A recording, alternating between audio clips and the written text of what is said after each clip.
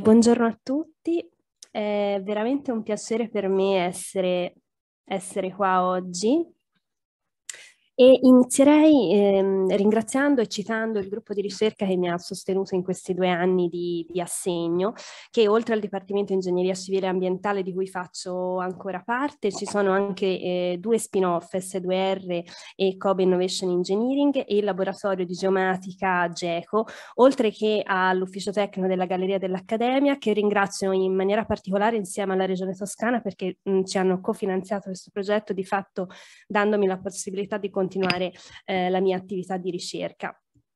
Eh, il progetto David, come ha sottolineato il professor Borri, eh, mira a tutelare il complesso museale della Galleria dell'Accademia di Firenze e l'enorme patrimonio in essa custodito e lo fa volendo sintetizzare al massimo sfruttando due aspetti che sono quelli che qui vedete sottolineati, digitalizzazione e conservazione. E sono proprio queste due parole il centro e il fulcro su cui hanno gravitato i tre obiettivi operativi di questo progetto, che erano conoscenza, analisi e modellazione e vulnerabilità vulnerabilità.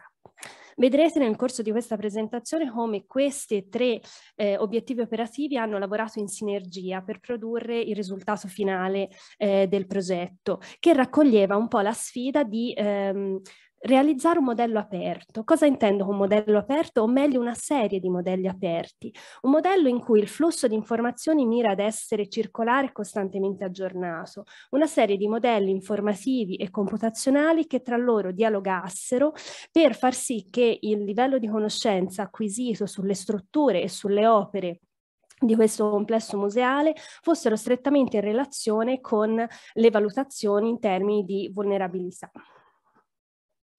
Se volessimo ehm, ridurre eh, quali sono le attività maggiormente rilevanti di questo progetto, io le sintetizzerei come il primo l'integrazione all'interno della gestione e la conservazione dei complessi museali storici della modellazione informativa HBIM e il secondo la eh, definizione di una procedura per la valutazione della vulnerabilità congiunta struttura-contenuto. Eh, in questi, in questi, due aspetti vedrete che i tre obiettivi operativi che vi ho appena citato eh, lavorano in stretto, in stretto contatto. Partendo da un adeguato livello di conoscenza si passa ad integrare una modellazione informativa che arricchisce la modellazione computazionale per giungere alla definizione della vulnerabilità congiunta struttura-contenuto. Um, perché vi sottolineo quanto la conoscenza sia importante? È importante perché il complesso museale della Galleria dell'Accademia, lo vedete qui da un ortofoto del laboratorio GECO, si trova inserito in un contesto urbano particolarmente articolato che ha avuto origine in realtà agli inizi del 1300 eh, quando si, mh, si è proceduto alla costruzione di un nuovo complesso architettonico che per molto tempo, fino alla fine del 1700, ha eh, ospitato l'ospedale di San Matteo e eh, il monastero di San Niccolò in Cafaggio. Um, a seguito di queste trasformazioni si sono susseguite delle ristrutturazioni anche strutturali per adeguare questi locali alle nuove destinazioni d'uso, in particolare alla Galleria dell'Accademia. Ovviamente la svolta per la Galleria dell'Accademia è stata l'arrivo del David eh, a fine del 1800, in cui si è eh, provveduto anche alla costruzione della tribuna del David su opera dell'architetto De Fabris. Il, la Galleria dell'Accademia, come tutte le altre fabbriche storiche e complessi museali, è un organo vivo, nel senso che costantemente subisce eh, ristrutturazioni e interventi che, vo che volgono a migliorare il, um, gli ambienti in cui vengono accolte queste preziosissime opere d'arte.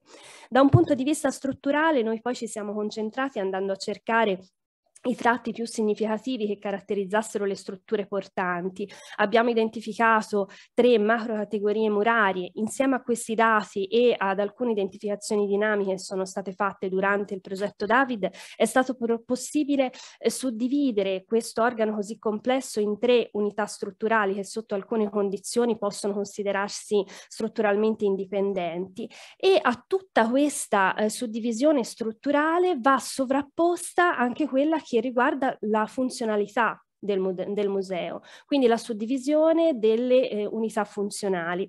Questa brevissima introduzione sulla conoscenza della Galleria dell'Accademia che trascura alcuni aspetti che per brevità non vi riporto, vi dà però il senso di quali sono e quante sono le informazioni che è necessario collezionare per far sì che tutto eh, il, um, il, modello possa eh, avere la, la, vastità di informazioni che richiede una conoscenza del, del museo. Per questo subentra la modellazione HBIM. La modellazione HBIM che nasce per strutture nuove e viene adattata a strutture ehm, storiche, è in sostanza un contenitore, un modello tridimensionale che ha un dettaglio anche molto alto relativo a ogni oggetto geometrico, che si fa collettore di diverse tipologie di informazioni. Noi abbiamo diviso le informazioni sia a livello locale che a livello oggetto, associando sia all'intero edificio, alle diverse unità strutturali, alle aree funzionali, ma anche agli oggetti strutturali, architettonici, alle opere d'arte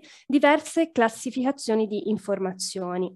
Questa è un'immagine della modellazione HBIM in cui ad esempio selezionando il David è possibile ricollegarsi a tutti i dati sperimentali che sono stati realizzati, al modello tridimensionale che è stato, il modello computazionale tridimensionale che è stato sviluppato. Invece selezionando ad esempio un paramento murario è possibile andare a vedere quali sono le informazioni che abbiamo su quel paramento murario e vedere ad esempio se ci sono dei dati sperimentali da cui acquisire delle proprietà meccaniche da trasferire poi a che cosa? Al modello computazionale.